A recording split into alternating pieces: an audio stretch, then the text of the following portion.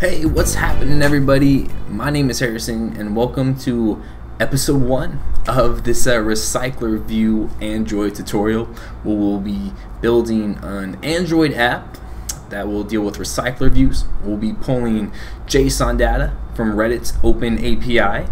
And again, at any point in time, you can always go to my GitHub page, my GitHub page down below in the comments and grab the code. But if you want to follow along and build the application with me, awesome, then let's do it together. So if this is your first Android tutorial or your first like introduction to the Android platform, then this should be like an awesome start. I'm to try my best to start from scratch um, I guess I do kind of expect that you know a little bit of Java. Um, but uh, again, if you're brand new to Android, hopefully I go slow enough and hopefully I explain enough so you understand what's going on.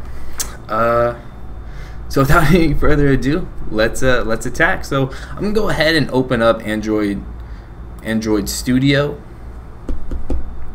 If you don't already have it, uh, so if you don't already have it, let's go to Google right now and just go over some quicks. Um, again, Android Studio, you can download it very easily.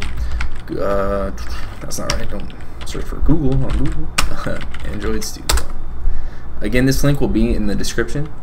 Android Studio. Go ahead and download download Android Studio for Windows. I believe that comes with the Java SDK. Well, if you download it for Mac, it'll come with the Java SDK. If it doesn't come with the Java SDK for Windows, again, that's very easy as well. You'll go Java SDK download, and you'll download it from Oracle.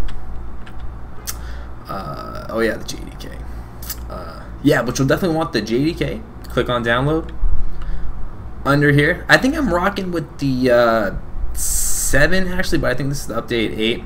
So again, just find your platform. If you're running the 64-bit Windows, this will be your download right here. If you're running the 32-bit Windows, then this will be your download right here, the dot the uh, x86. So again, that's Android Studio and the Java SDKs. Uh, if you watch the uh, earlier video, episode one, kind of the prequel, you'll see the final product that we'll be producing. It's the it's just the populating the list through JSON data. Um, so if you do want to see the final project, you can jump over to that last video, episode zero. There'll probably be a link in the description as well. So if you want to see that quick one, but um, no, let's get started. So the first thing we do, we have Android Studio up and running. Let's go. All right, so let's go ahead and open up a new Android Studio project. Okay, uh, that was some love. Uh, all right, so now you can name it whatever you want. Um, I'm gonna go ahead and call it uh, my recycler list, probably my recycler list, because it'll be a list of recycle views and of data or whatever. So I think that should be all right. Uh, where do I want to save it? My C drive is really small, just like it's like a 100, 128 uh, gig SSD, so I gotta save it to another folder. Um, Android Studio projects. Okay, everything looks all right. Let's go next. Uh, here's where you choose your minimum SDK. Like right now, they usually pinpoint to API 14, the ice cream sandwich one, just because I believe that was kind of like the first most stable kind of whatever. I believe it was on a lot of devices. I still think there's some devices that run it, so whatever. So you're really attacking most of the Android users. But if you're using some of the advanced features and you want to X out the whole ice cream sandwich generation, then upgrade it. Uh, do whatever you want. But again, API 14, that's fine. Next. So usually I'll always start with a blank activity. Um, later on in the tutorial, we will be going to fragments. So like if I wasn't necessarily walking through this, um, it wouldn't be weird for me to go with the fragment one, the blank activity with fragment. But um, I'm just gonna start with blank activity, and then you'll see how easy it is to add in a fragment or to kind of make those changes. So blank activity, we're super cool with that. Next, activity name.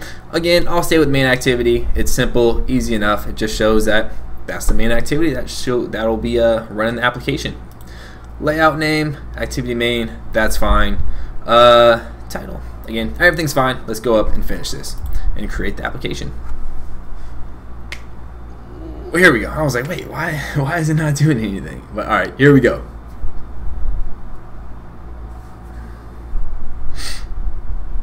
My background is Ori and the Blind Forest, by the way. It's a rocking game. They killed it. Uh, uh, minimize that.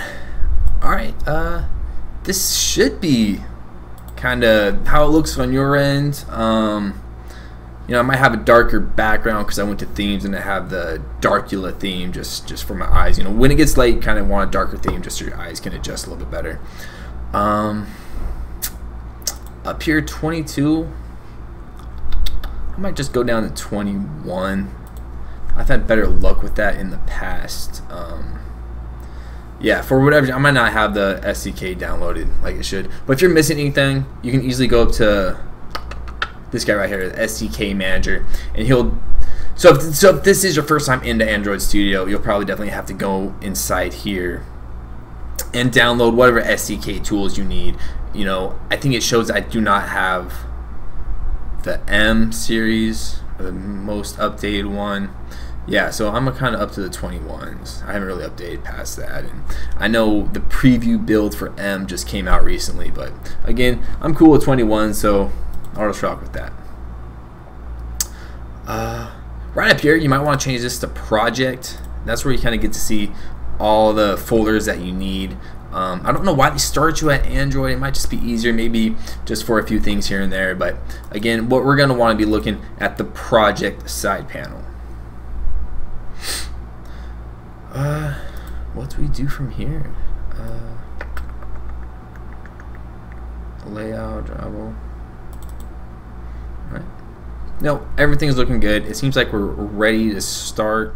Okay, so I guess before we go any further, again, like I'm definitely shooting from the hip here. Like I don't necessarily have the best agenda or like an outline of how we're gonna make this, but um, I guess let's get some more administrative things out of the way. Um, let's go ahead and download the volley.jar package. We'll be adding that to our library field here, or a library package or a folder, and it'll allow us to use um, Java calls, code calls that we can't call without the volley jar. So let's go ahead and do that. I have the link down in the description.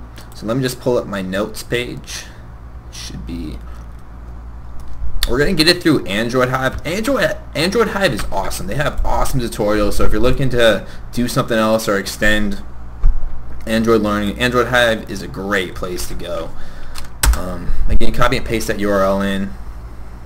This is where they're talking about Volley and the library and everything. But if I but if you scroll down, they have a direct download that is super cool. Um, yeah, right here, Volley jar, and immediately downloads I trust these guys, so go ahead and keep. And I got it. Let me get out of that. Bring up my downloads folder. Alright, volley jar. I'm going to go ahead and, and control C, copy that.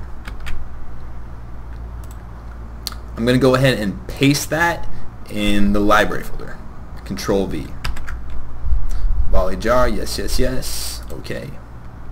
And now we have it there. And now I believe we have to update the Gradle. Is that what we're doing next? Yeah. No. Let's go ahead and sync the Gradle.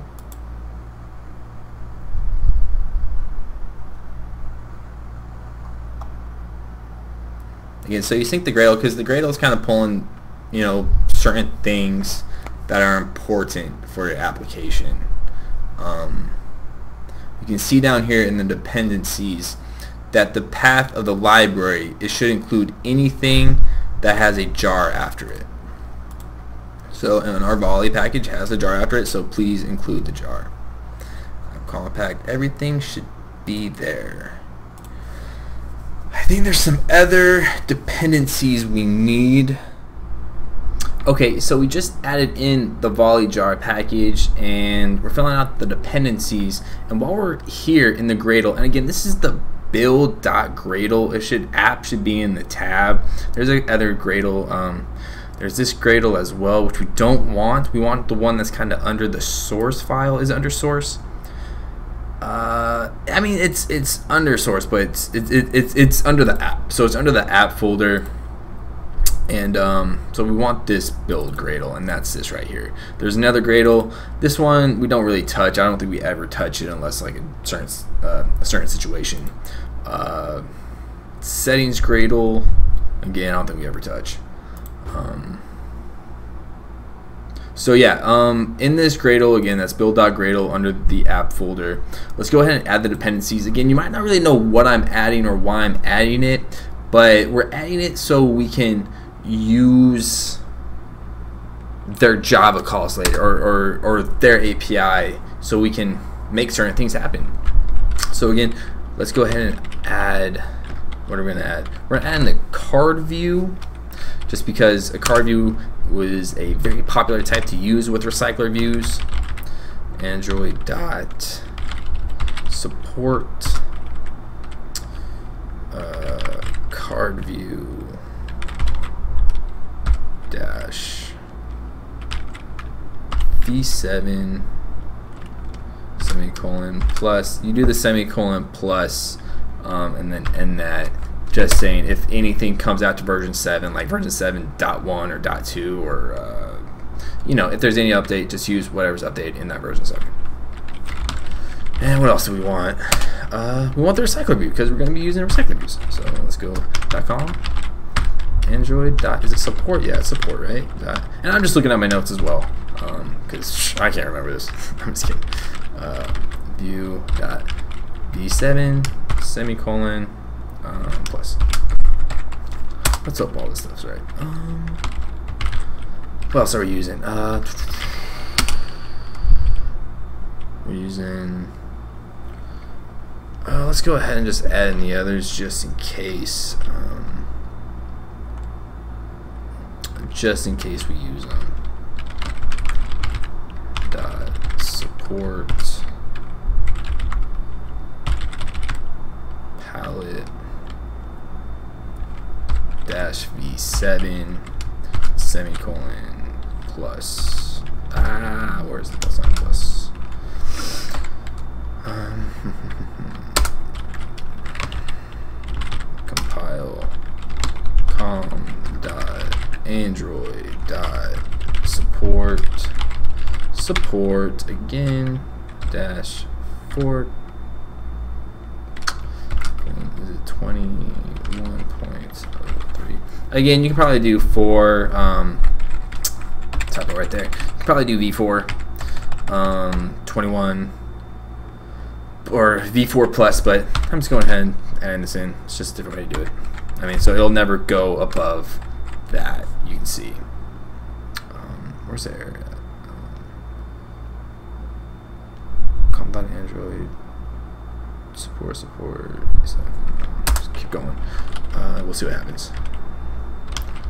And the last dependency will be flexible divider. Yeah, I think one of these is for the endless scroller. So that's why it might be kind of different. Recycler view dash flexible.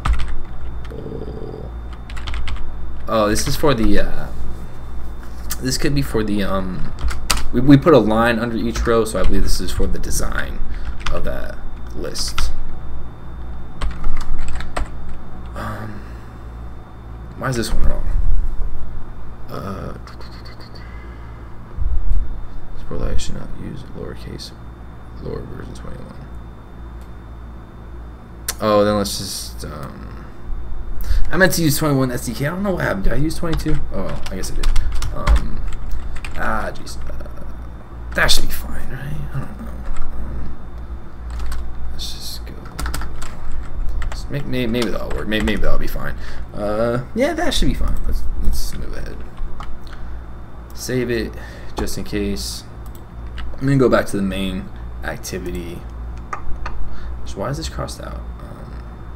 Alright, so I guess it's already saying that the action bar activity is already crossed out or already deprecated, which means it's not really being in use anymore. I bet if we click on more, it'll tell us what's being used. Um, unspecified inspection scope. Oh well, it doesn't really matter. Um, all we're going to be doing, we're going to erase that and put activity. And now it's going to ask for its imports, kind of what allows us to branch off the activity. The activity will take certain things that needs to run. You know, there's certain function calls that it needs for the application to run because we're extending off the activity. Our public hash is called main activity. That's what we did before we even created the app, or when we created the app, it gave us the option to change that name. But again, I just went ahead and called it main activity. It extends off activity, you know, something else can extend off like a web view or a fragment or kind of another, I don't know, another, uh, oh like another framework that would build kind of your script that you kind of want the application to do.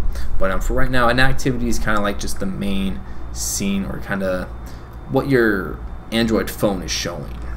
Um, you know, it's kind of like the scene view uh, yeah, oh, we gotta add this. So what do I gotta do? Alt enter. Yeah. Alt enter. There we go. And that got rid of all the red, which is awesome. But you can see, uh, you know, the first thing that we're overriding is the on create method. And what that's really to do is populate our layout that we want, the uh, the view that we want, and we call that activity main. We'll jump into that in just a little bit. Um, everything else, you know, it's just standard. It comes with the with the activity class. But right now, let's jump over to the layout and get cracking on that. But again, I think we have our application set up. I'll check again a little bit after the video just to make sure everything's straight. But um, let's end the video there. So we have this set up. We're ready to attack. Maybe input some code. We'll jump to the layouts and um, create how we're going to make our app look. I'll see you in the next video.